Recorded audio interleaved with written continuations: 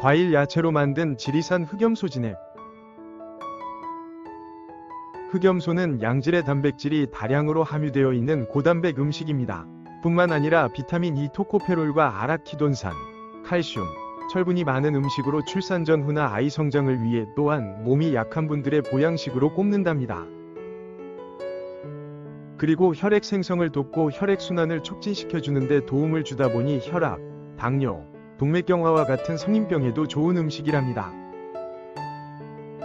대표적인 효능으로 보면 면역력 강화, 혈액 순환, 피로 회복, 뼈 건강, 노화 방지, 빈혈 예방, 수족냉증 등이 있는데요.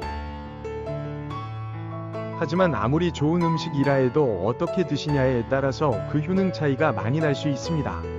그래서 어떤 흑염소인지 원재료가 무엇인지 꼼꼼하게 확인하고 선택하셔야 한답니다.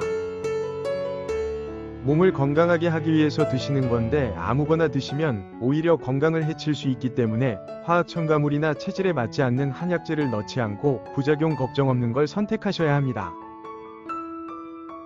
혹시 선택에 있어서 어려움이 있으신 분들을 위해서 제가 추천드리는 흑염소 진액이 있는데요.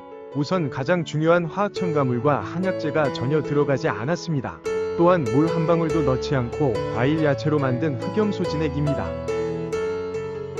지리산에서 직접 방목으로 키운 흑염소의 몸에 좋은 과일 야채인 브로콜리, 양배추, 오미자, 흑마늘, 양파, 토마토 등을 넣고 72시간 숙성을 시켜서 만든 흑염소 진액을 추천드려 봅니다.